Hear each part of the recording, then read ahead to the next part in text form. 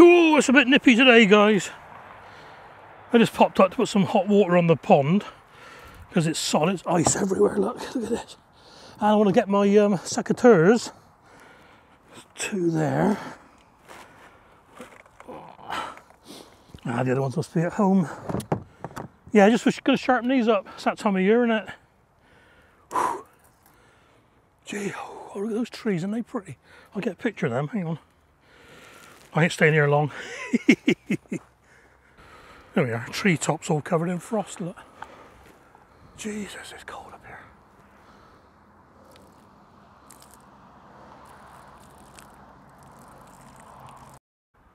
Right, that's me. Catch you back home. Well, you're right, guys. Sort of end of November time, and uh, well, I'm going to give me tools of sharpening, well, some of them. Um, I got three. I've got more than three, but I've got three different types of secateur, and my knife. I've got a couple of knives. Now they're kept sharp all year, but this time of year you want to get round to cleaning them properly, take all that sap off and everything. So we need a few basic tools, container to put any bits in, a whetstone or a diamond stone. You don't need this, but it's handy. Some emery paper type stuff or some Scotch-Brite, even a kitchen pan scourer. Um, got some lubricating oil, WD-40, some solvent, I'm using meths to clean the sap off. You don't need all of these, like I said, but they might come in handy and save you running around afterwards. Even a nail file will help you get some rust off. I got a little wire brush just in case. Paintbrush, and I'll show you why I'm using that in a minute. Crosshead screwdriver, because all of mine are crossheads. Pair of pipe pliers to get things apart. Knife sharpener, and um, I've got Allen key set just in case, but I don't need them with these ones. I do do with the other one. And another important tool is a camera or a phone. Just if you've got to take things apart like these, these are these are the, called the Felco ones, aren't they? Yeah, or something like that. Felco Sovereigns, yeah, something like that. Um, take a photograph. Lots of little bits to these. So I think we'll start off with the easiest and work upwards, eh? So now these, these are my cheap and nasty, let's cut the ragwort down or let's cut the chamomile down type secateurs. I don't use these very often. They're the weed ones, if you know what I mean. But they need a clean up, and I'm not going to take them apart and do this. They're cheap and nasty ones with a nylock nut in the middle, part of a set. So all I'm going to do for this, now this is why I say I'd like a container. Oh yeah, kitchen tissue as well. One more thing before we start, I'm working on cardboard. I don't want to get me uh, tabletop all mucky. So you can go straight in with your Scotch-Brite with this. Now when you're working, always work away from the blade. Now this is the sharp blade. This is the blunt blade. Still got a bit of edge on it, mind. So always work away from yourself, look. So if you do slip, you're going to push your fingers away, not towards you. And you can do it on the table. Give it a push. There we are. Now, so it's, it's got the dirt off, but it's a little bit stuck there. So I'm going to put a tiny little bit of WD-40. Now, I don't like spraying WD-40 everywhere, so I put it in my little container. There we are. I'll do for now. Oh, that smell. I'm going to just dip this in there and give it a and you see already, look, that's why. that's why I put the cardboard down. That's coming up all right. There's no need to take that any further, really. Same with this side. This side's got all the sap on it, look. I expect my phone's wobbling like mad there, isn't it?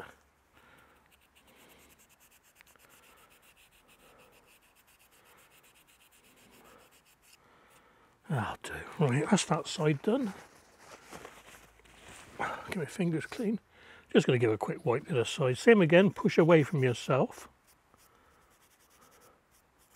And there as well. That's a bit more awkward, that one. That's it, that's fairly clean, that'll do. Like I said, these are my rough and ready ones. I'll spend a bit more on the time on the decent ones. And then they need a bit of a sharpen. So what I'm going to do with these, though I don't want these super duper sharp, I think there's a nail file. And all you do is just push, work out the angle, and just push the nail file over the. It's hard to do this, so I'm right-handed and my camera's over there.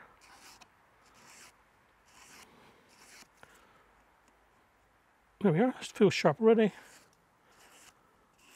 Like I said, I keep these tuned up all year long, like. I just take the little burrs off there and there. That'll do. Now what I'll do, I'll um, ooh, gonna give these all a protection with the proper oil later. Oh no, I'll do it now. Let's do it now. This is what the brush is for. So on the other side of the pot, a bit of penetrate, a bit of oil, and this is what the brush is for.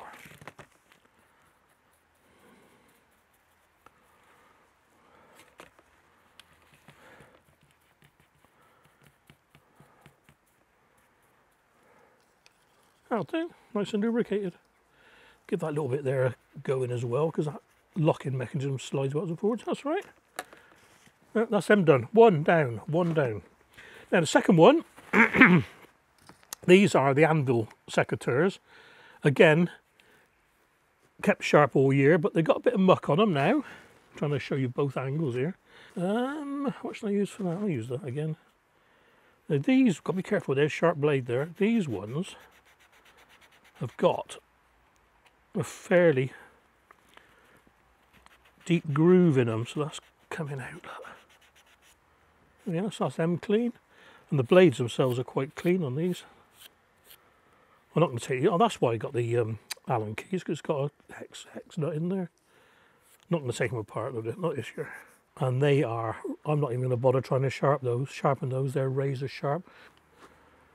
Little splodge of oil on them. It's good oil, this one. I don't know where I got this one from. I'm sure I got this from America. Yes, I did. 11 ounces on it, look, rather than... It's got grams as well, but... Yeah. There we are. Look, um, spray on products. Solon, Ohio. Must have got that when I was in the Navy. Crikey, that's got to be... That's 26 years old. at least. That feels better already. I'm going to give this little plastic bit a bit of a um, oiling as well because that's the slider and that's um, it's a bit jammy sometimes. Oh, there we are. Oh. Done. I'm not going to bother wiping the excess off them, so I'll put those there as well. Um, I'll do the knife last. Now these are what I call the complicated. Look at these, look, at they're covered in sap, filthy, dirty, look. So this is where we take the photograph, both sides, just in case. And the phone's going mad today. Right, and what we got is centre nut, Phillips screw there, Phillips screw there for the lock. I'm not going to take that off. Phillips screw, I'll take that off straight away. And oh,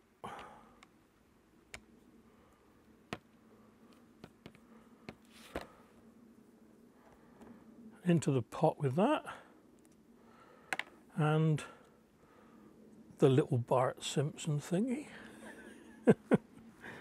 right. Now I've got my pipe pliers. And all I'm going to do now is undo the centre nut should be loose anyway, because you don't do these up tight. This is what that Bart Simpson's for, but we'll go through that when we rebuild it. Yeah, a little bit gummy. That's the locking nut. See, it's all, uh, it's got a cog on the outside, which will become evident in a minute. Here's the plate. Ooh, a bit of rust under there. Push it in a bit. Let's get that spring off. There we are. Oh spring off, top off, put that in there, and there's the bottom blade. And we leave the locker, and there's the top blade, and the top blade comes off. Pivot bolt, and the top blade comes off with sharpener as well, and that's a Phillips screw.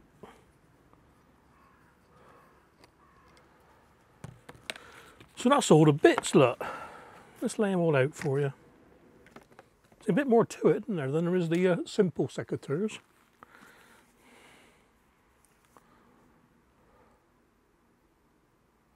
There we are. Put the little bits in. What I normally do now is clean everything to start off with. So, a bit of meths with this one. Get the sap off first. Might not be much on there actually, it's hard to tell initially. Some mess. Oh, I love the smell of meths. Reminds me of the old Mamod engines. Again, push away from the blade. There are proprietary products you can use to clean these properly, but this is all household stuff really, isn't it? And for your sanity and to get the video moving along a bit, every component was cleaned with a WD-40 or the meths or the oil and a scouring pad. Bit of wiping here and there, all done. Okay, then that's about as far as I want to go really. So what I'm going to do now, I'm just going to quickly now this, blade, this part of the blade doesn't have an edge on it, but I just want to clean the edge up a little bit. So again, I'll just use this nail file for this. Don't ask me why I've got a nail file. Just take any little rough burrs off. So I'm not putting a, I'm not sharpening it, I'm just cleaning it really.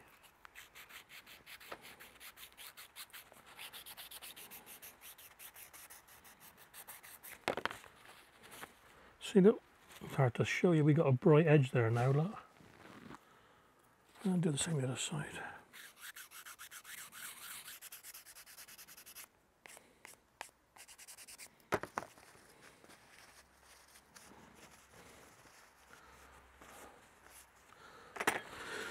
Okay then, that's the uh, that's that little bit done. See, it's a bit cleaner. Look. I'm not sure how shiny these were when they first they they were new, you know. It's got to be quite a few years now, so I can't remember that far back. But I'm just going to take do the same on the back side of this blade.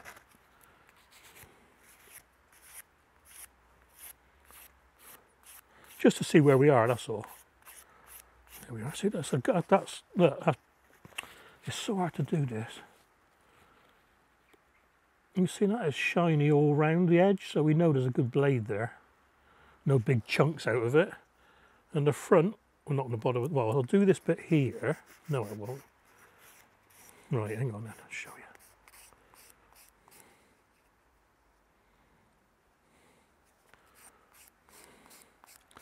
Right, that's good that. I'm glad I've done that because now I'm going to try and show you this. Let's find something to point with. I don't know if you can see that on there. Can you see that? Yeah, right. This blade has got three angles on it. We've got this one here.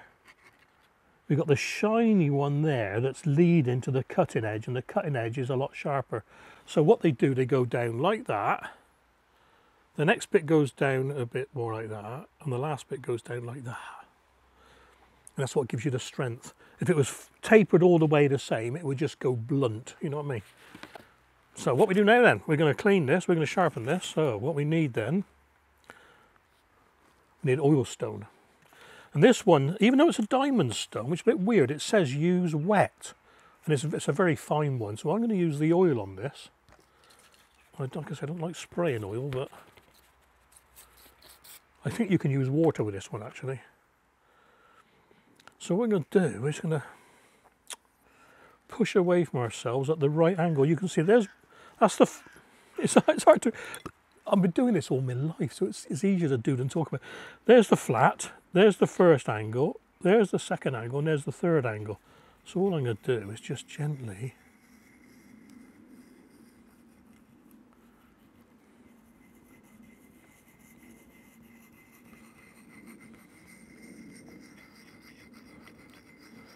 You might be able to see it on this, this camera, but the, oil's going dirty, so it's working.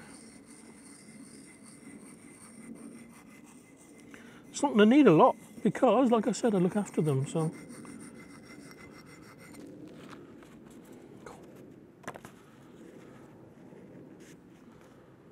Carefully. Oh, that is sharp. That is sharp already. Hard to do this. That'll do. That'll do for me, I think. There's no point being much sharper than that. Right, guys, I think that's it. So what we've got to do now is start rebuilding things. Now, this is where your photograph comes in handy. So. oh, dear me. Right.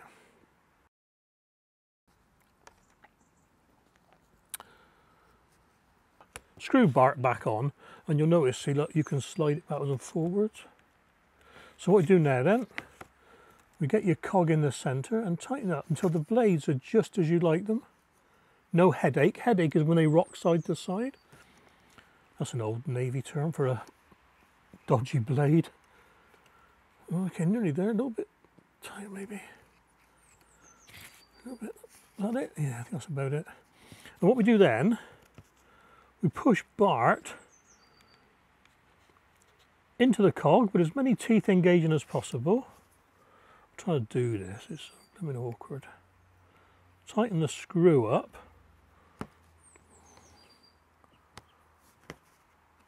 Give it a go. Can you hear that?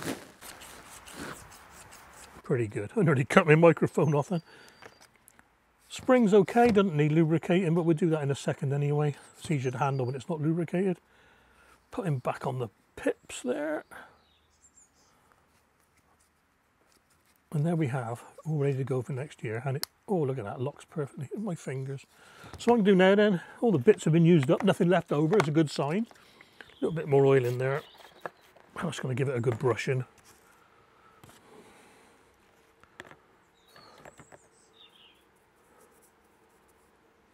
The spring this time as well. There we are guys, I think you'll be happy with those.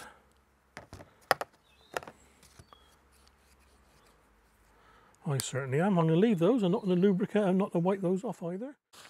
Last up's my gardener's knife. Two blades on it. We've got the curvy blade, which is absolutely filthy. And we got the oh, the budding blade, which is a bit cleaner. Obviously used less. So that is razor sharp. I'm not even going to bother sharpening that one. But if you were, once again, oil stone, drop of oil on it.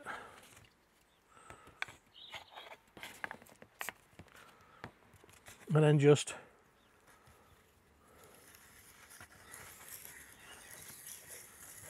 figure of eight motion. You can feel where the the, the angle is because it sort of doesn't rock, it just sits there. And the same the other side.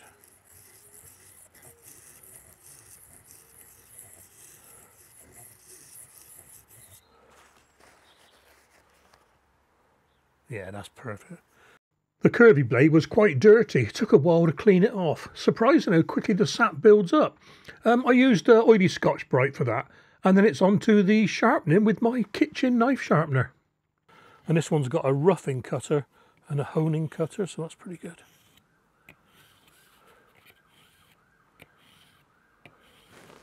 I don't expect this will work now. This paper's a bit damp now, but... Oh, crikey, there we are.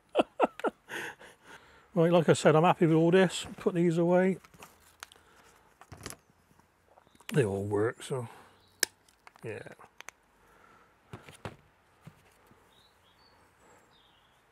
Any bits of wood left? Here we are. That'll do. And these ones are about as much use as a chocolate fire guard, but they're they're okay for weeds. You know what I mean? That'll do.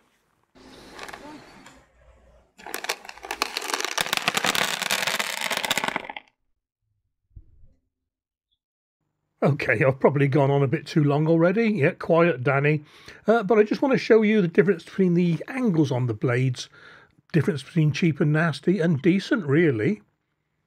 So for bypass secateurs, you'll find blades with either one, two or three angles on them. And when I say yeah, bypass, think scissors. That's the easiest way to think of them. These drawings aren't accurate. They're just a representation of the concept, if you know what I mean. You can see here just how much sharper a one angle blade is. That pink bit is very sharp at the tip, but also very easy to damage. When you come to restore the blade back to a sharp tip, you need to take an awful lot of metal off. And this is why when you're in a garden centre and you're feeling how sharp the blade is, the very, very sharp ones like this, probably quite cheap. The more professional bypass secateurs will have two or three angles. We're jumping straight into the three angle one here. The edge of this type is more robust in the first place, so harder to damage. And when you come to sharpen them, there's a lot less metal to take off and you're up and running in no time. And it's much the same story with the anvil secateurs and knives. These have a bevel on both sides of the blades and again they come in one or two angle versions. Damage the one angle type and once again you've got a lot of metal to take off. Initially they may seem like a good buy, in the long run, hmm, yeah. The double bevel with two angles, a lot more substance behind it, more robust, and when you do damage it, because you will damage it, a lot less metal to take off and you're up and running again. It really is a case of you get what you pay for. And if you paid for it, you may as well look after them, hadn't you? Alright guys, just a quick instructional video. Hope it helps a few of you anyway. I expect the seasoned gard gardeners are shuddering watching me do that, but that's how I do it.